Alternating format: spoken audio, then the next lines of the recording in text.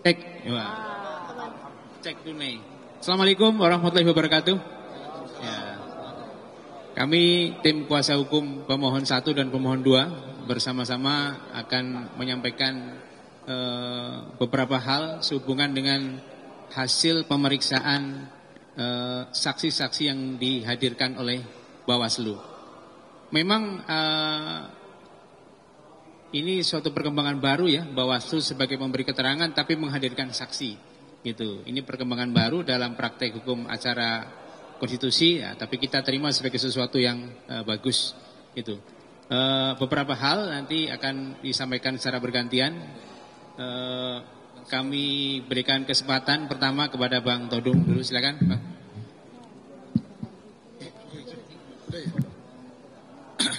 Oke, kawan-kawan sekalian, saya tadi siang tidak sempat doorstop ya.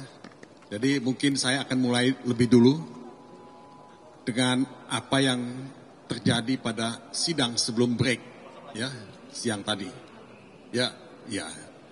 Nah, saudara-saudara, pada sidang pagi tadi kita mendengarkan ahli dan saksi dari pihak KPU yang fokusnya hanya pada persoalan sirekap yang kontroversial itu. Ya. Nah kita sangat-sangat ya, bingung melihat begitu banyak persoalan yang dihadapi dan begitu banyak ya perbedaan-perbedaan tafsir dan cara pandang dalam melihat sirekap. Kita tahu bahwa pemeriksaan itu dilakukan secara berjenjang. Tapi sirekap yang juga tampil dan ditampilkan oleh KPU itu telah membius publik, membius opini bahwa tidak ada yang salah dengan Sirekap, bahwa perolehan suara itu adalah seperti yang kita lihat pada pengumuman yang mereka buat. Padahal kami mendengarai banyak sekali masalah dengan Sirekap ini dan banyak sekali persoalan dengan penggelembungan suara banyak sekali persoalan dengan kecurigaan kita terhadap fraud yang terjadi pada penghitungan suara. Nah inilah yang kita lihat. Nah dari saksi dan ahli yang tampil, bukan saja tadi pagi, tapi kemarin ketika kami menghadirkan saksi dan ahli, juga ketika teman-teman paslon satu menghadirkan saksi dan ahli, kita melihat bahwa banyak sekali persoalan yang perlu kita pertanyakan. Salah satu yang kami kemukakan tadi adalah ketika bicara mengenai integritas, ya, integritas eh, penghitungan suara, ya, adalah soal tidak adanya ya, beberapa fitur yang penting dan harus ada pada setiap proses sirekap itu sendiri. Tadi disebutkan satu misalnya mengenai tidak adanya fitur validasi. Nah, bagaimana ini kita bisa persoalkan ya? Kalau kita tidak tidak punya fitur validasi. Kedua, fitur edit ya. Nah, ini juga satu hal yang buat buat kami ya sangat kami pertanyakan gitu. Ya. Nah, ketiga persoalan metadata, metadata. Kemarin ahli kami dan saksi kami mengatakan bahwa tidak ada metadata. Nah, pada hari ini saksi dari pihak KPU ya, menyatakan ada metadata itu.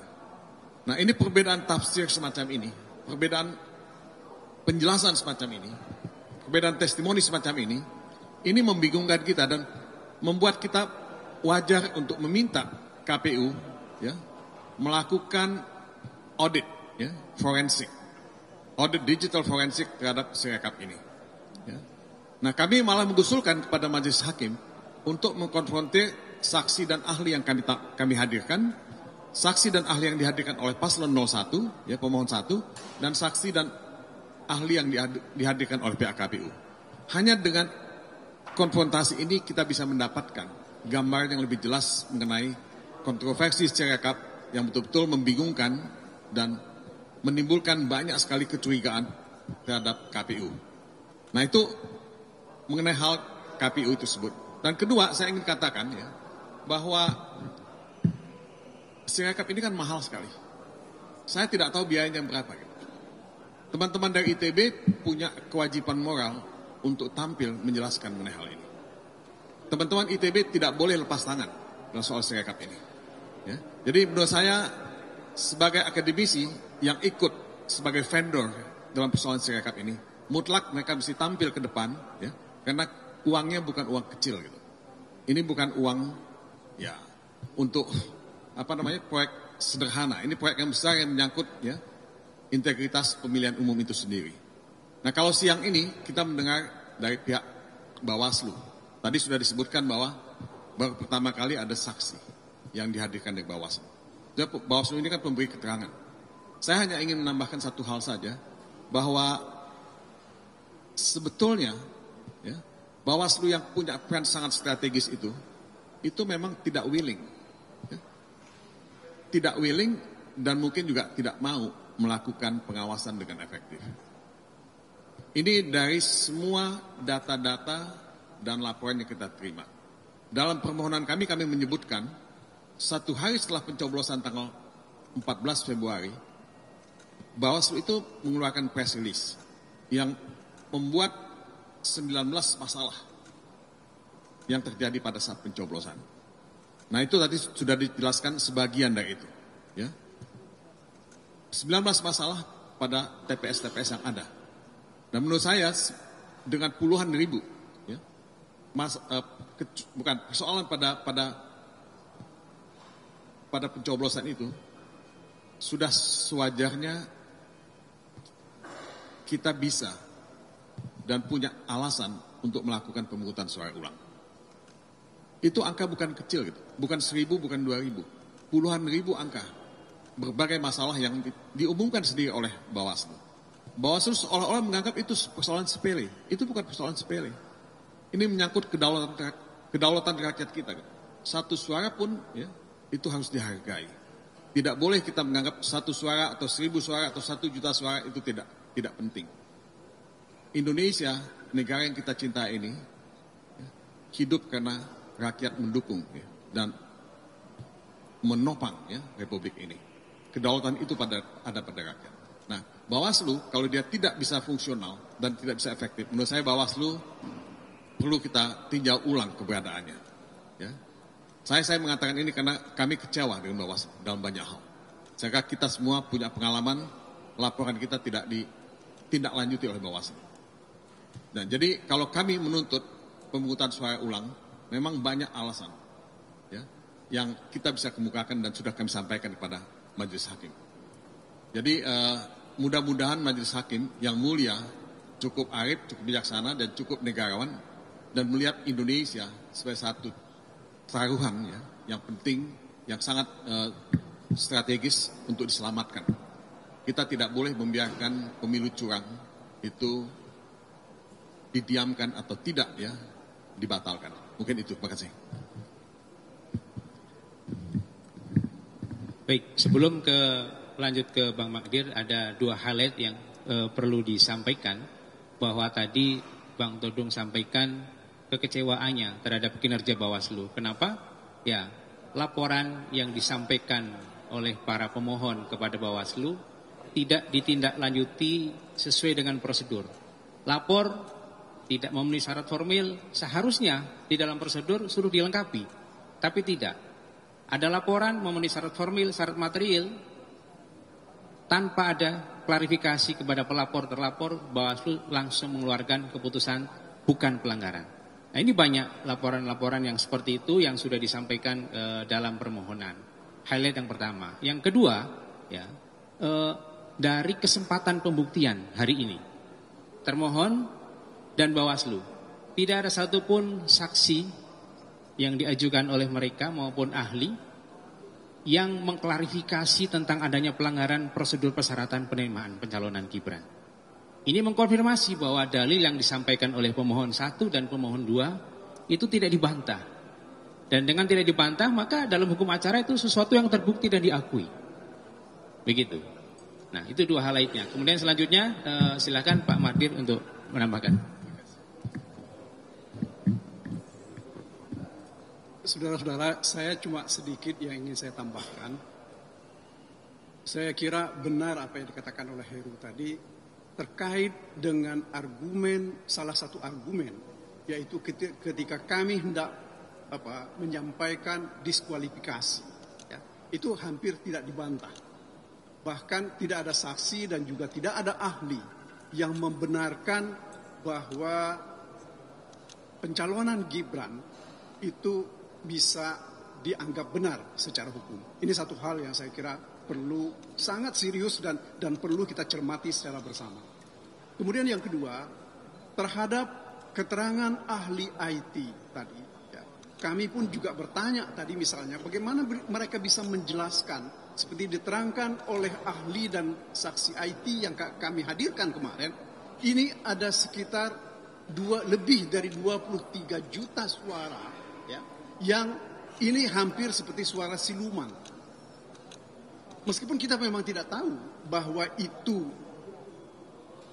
merupakan suara dari 02 atau 03 atau 01, tetapi bagaimanapun juga adanya suara siluman ini membuktikan bahwa proses dan pelaksanaan pemilu kita sampai pada proses dan pelaksanaan penghitungan suara ya ini tidak benar. Sementara KPU dan kawan-kawan kita dari 02 menganggap bahwa ini proses kita di sini adalah sengketa hasil. Ya. Nah kalau ini ada hal-hal yang tidak benar seperti ini, bagaimana kita menganggap bahwa hasil itu adalah benar?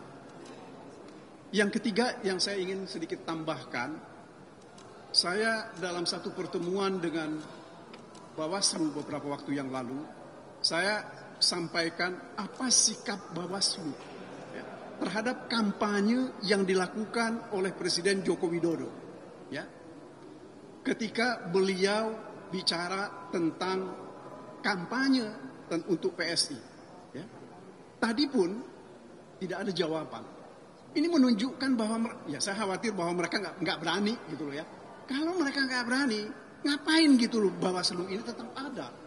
Sementara itu adalah fungsinya mereka. Ya. Saya saya kira ini mari kita lihat ini secara jen. Tidak cukup himbauan atau teguran itu tidak cukup. Sebab ya kita tidak tahu apakah memang ada pengaruh ya terhadap kampanye Presiden Jokowi tentang apa PSI. Saya, saya tidak tahu. Saya, saya kira kita belum pernah mendengar hasil penelitian seberapa signifikan hasilnya itu. Tetapi bagaimanapun juga ini adalah satu cacat yang kita, yang dipelihara oleh aparat kita. Saya kira ini yang harus harus menjadi hal yang harus kita cermati secara bersama. Saya kira terima kasih dari saya. Assalamualaikum warahmatullahi wabarakatuh.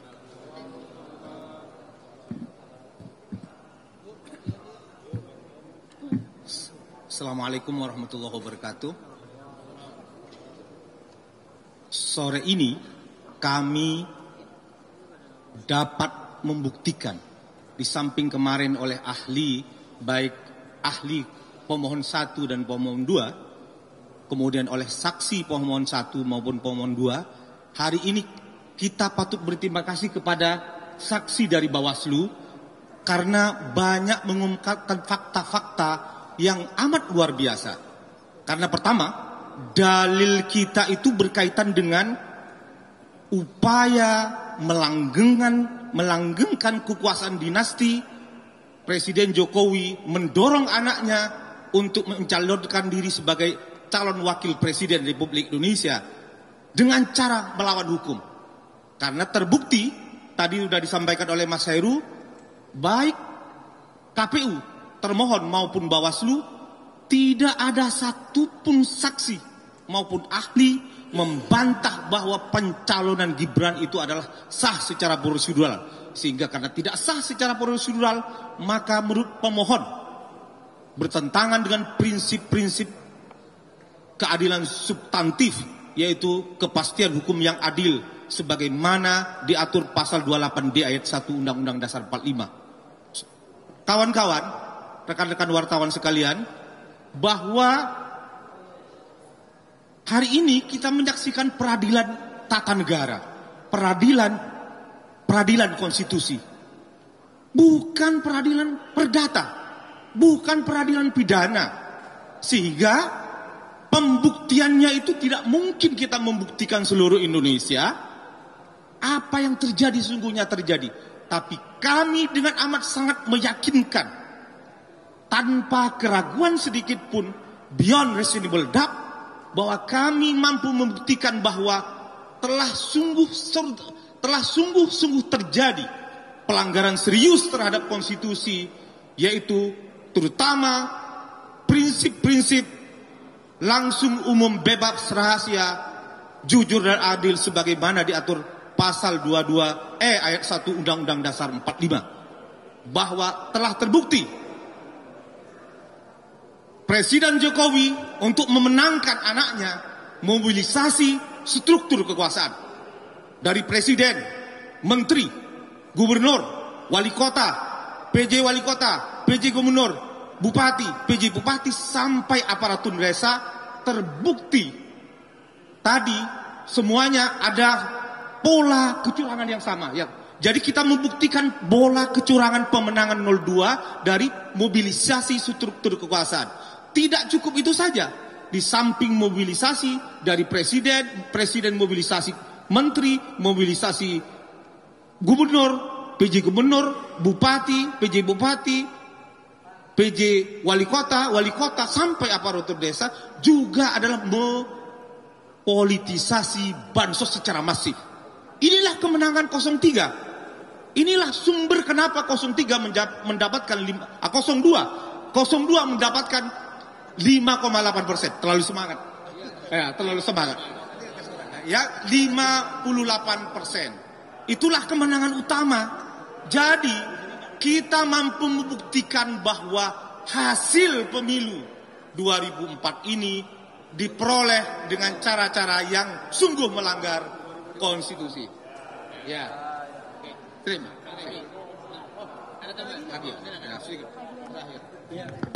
Assalamualaikum warahmatullahi wabarakatuh. Cadas.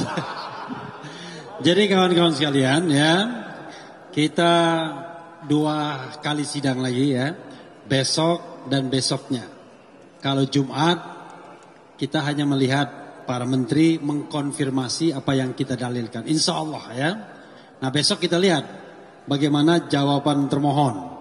Kalau tidak meyakinkan, insya Allah nanti uh, kita ulang pemungutan suaranya. Yang belakang sudah ribut ya. Dan yang harus kita pahami ya, dalil kita itu mengenai pelanggaran terhadap konstitusi, prinsip-prinsip konstitusi dan ada tiga hal yang menonjol.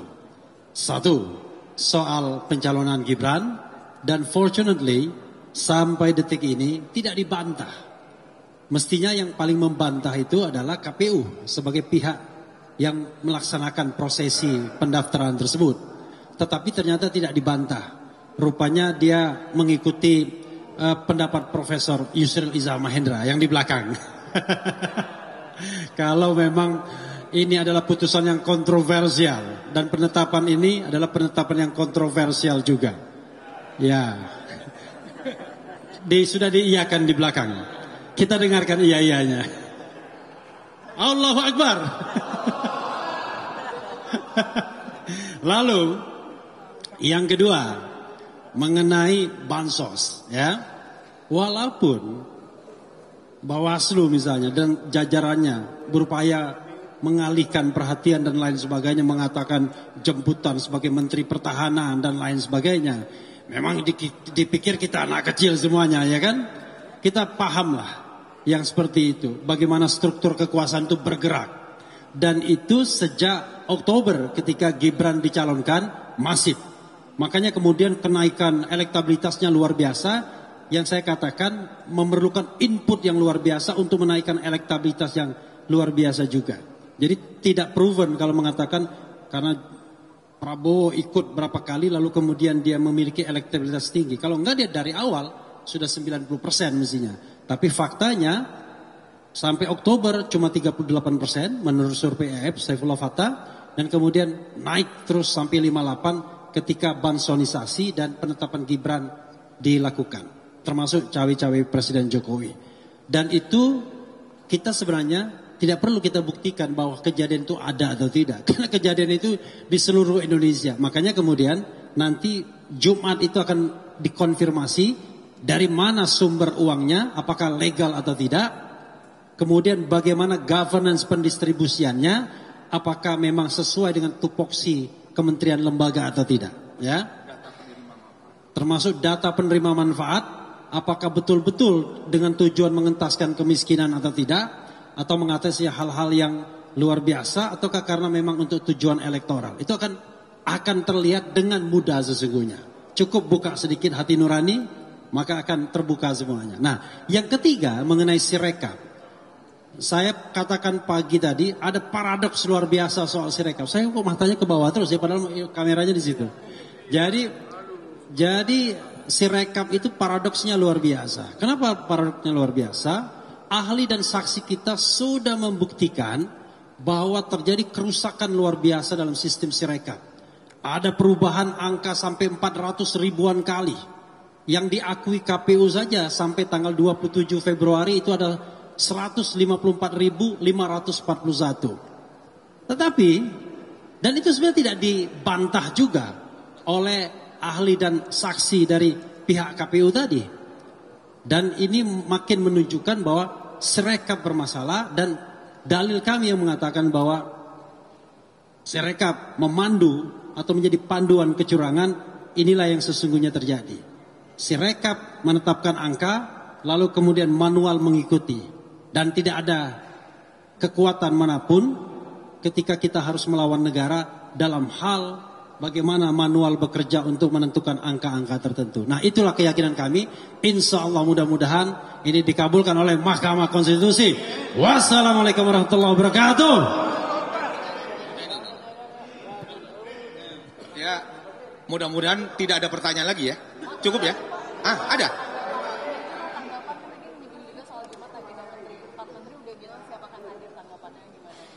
Ya, alhamdulillah karena itu akan menjadi terang benderang nanti kita bagaimana proses penganggaran bansos.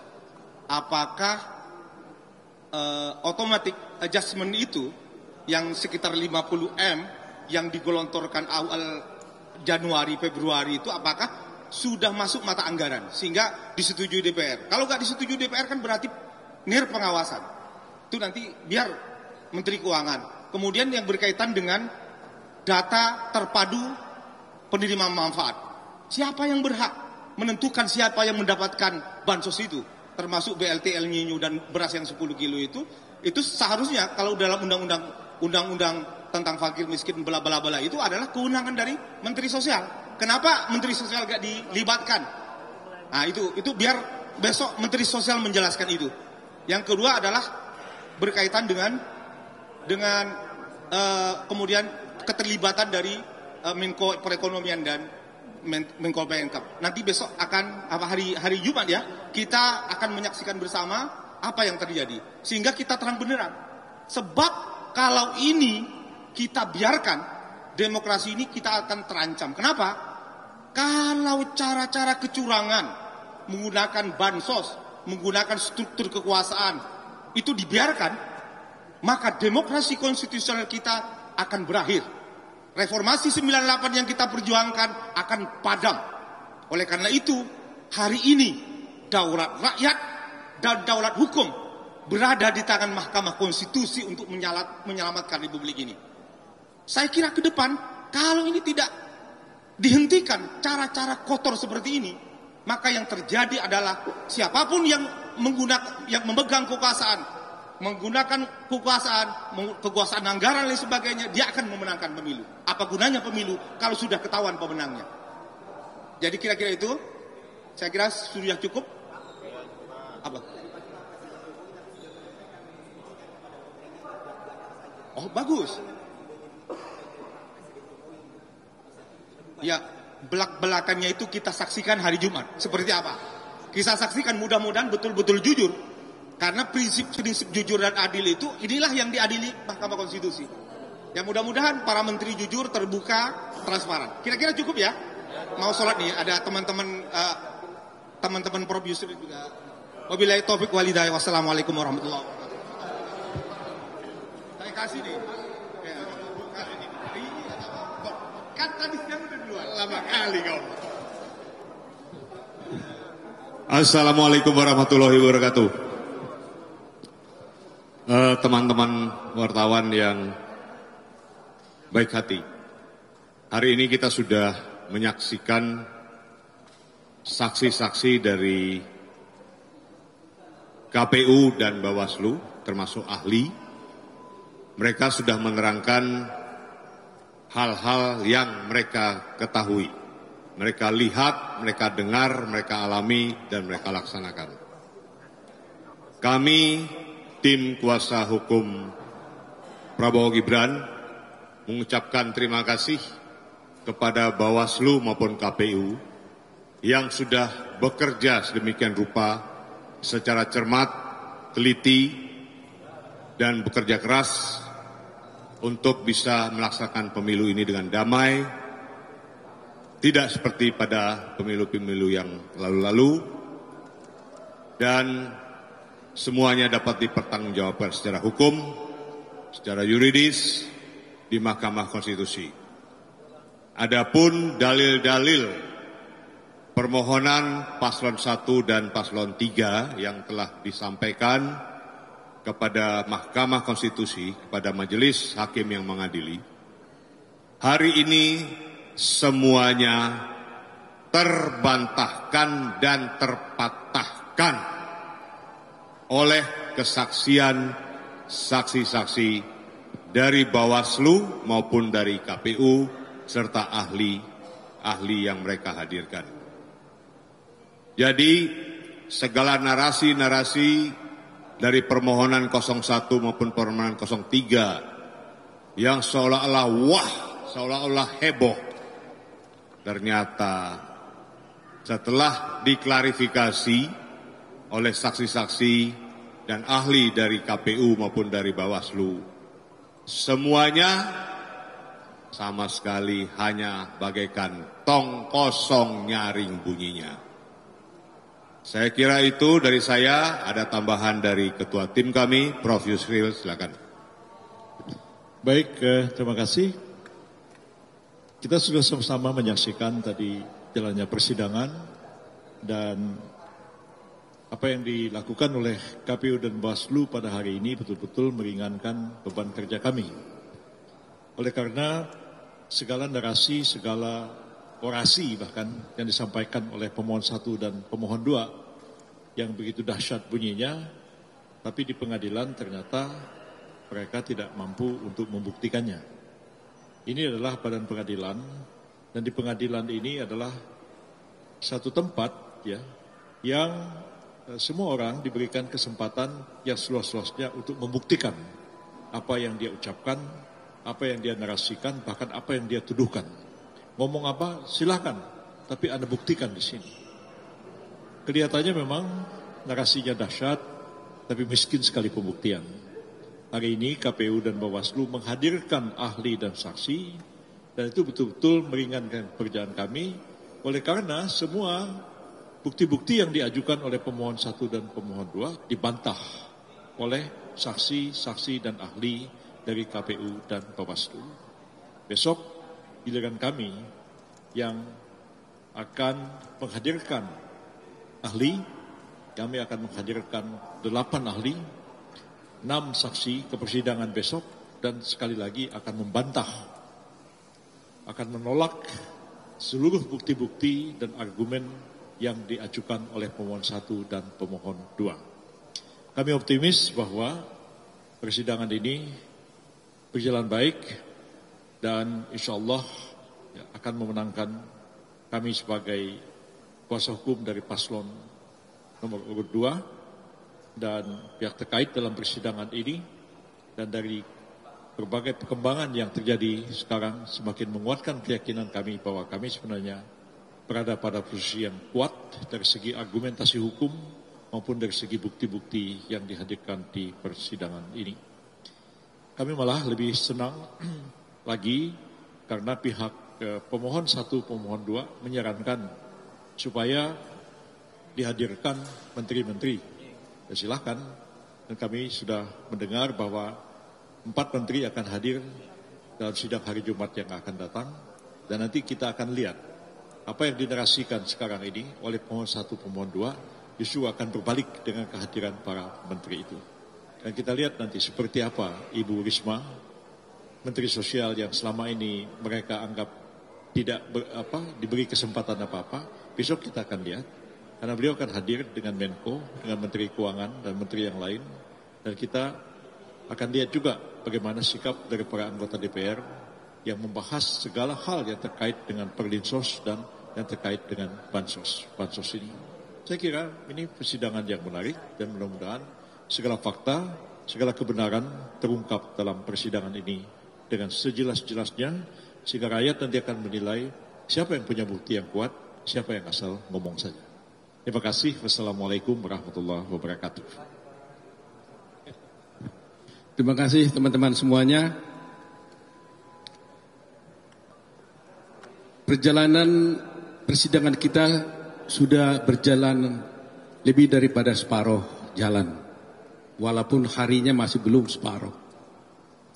Tetapi saya tidak menyangka baru separuh jalan saja sudah hampir bisa kita simpulkan akhir daripada perkara ini. Dari awal saya memang melihat bahwa begitu banyaknya kelemahan-kelemahan daripada permohonan yang diajukan mereka, dalil-dalil yang mereka ajukan.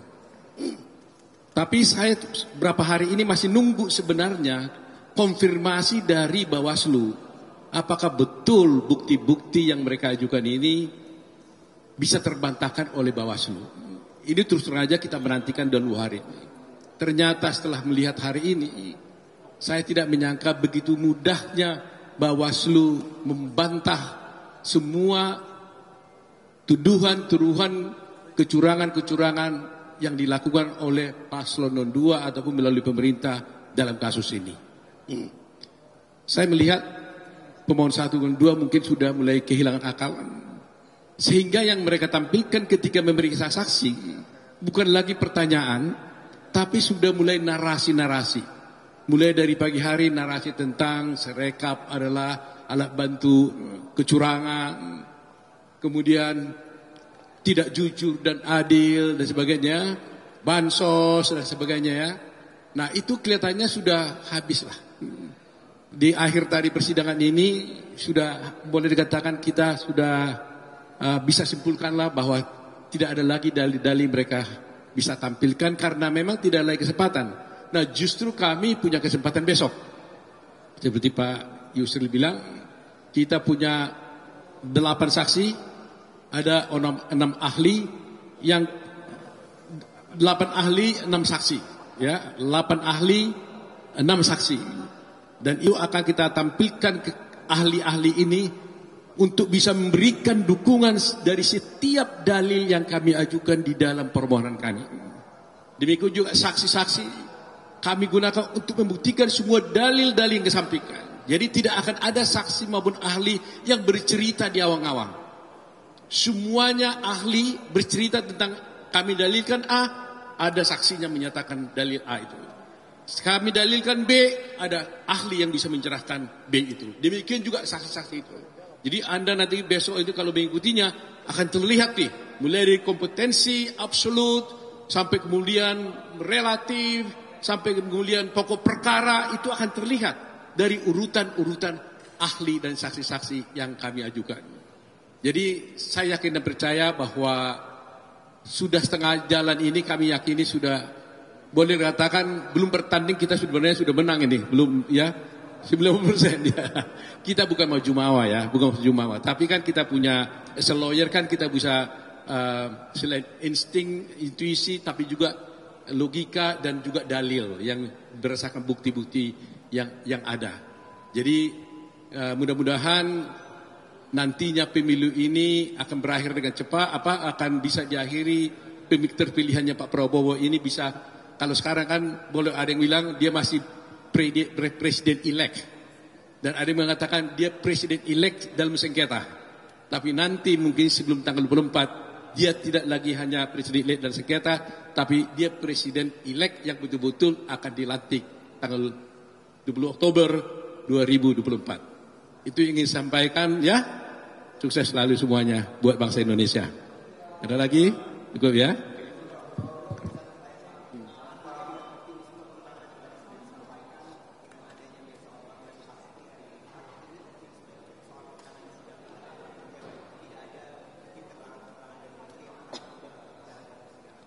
Ini justru blessing in disguise. Blessing in disguise. Kemarin itu kan kita bercerita bukan keberatan loh. Ketika mereka mengajukan menteri, ada empat menteri, kita gak keberatan. Cuma kita katakan ada aturan mainnya. Yang boleh mengajukan itu bukan Anda, kan gitu. Jadi sebab konsekuensi hukumnya kan beda. Kalau mereka yang mengajukan uh, pihak-pihak ketiga tersebut, maka berarti kan pengadilan yang disuruh membuktikan dalil dia dan akibat hukumnya, maka para pihak bisa menanyain saksi-saksi tersebut. Tapi dengan ini, dengan ditolaknya permohonan dari pihak 01 dan 02, eh 03 ya, dari pemohon 1 03, dan kemudian mahkamah yang mengambil keputusan sendiri untuk memanggil uh, Pak Ibu Sri Mulyani, Ibu Risma, Pak Hartarto, dan yang lain, maka kami menjadi conform dan confident. Karena kami yakin dengan hadirnya beliau-beliau itu kami yakin mereka akan bisa menerangkan yang sebenarnya yang terjadi. Uh, ya? Dan semua masyarakat Indonesia akan mendengar apa itu bansos bagaimana prosesnya apa itu PJ bagaimana prosesnya dan sebagainya dan sebagainya. Dan itu baik sekali buat bangsa ini. Sehingga keterpilihan Pak Prabowo nanti dan kemenangannya akan menjadi pure-pure kemenangan yang murni, jujur dan adil di Republik ini. Ya, cukup ya? Oke, terima kasih.